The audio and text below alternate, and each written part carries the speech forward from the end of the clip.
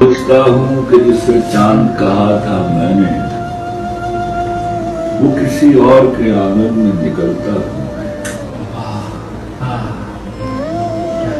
जिसने पाई है तेरे कुर्ब से दुनिया है हयात, वो तेरी याद के मौसम में अकेला।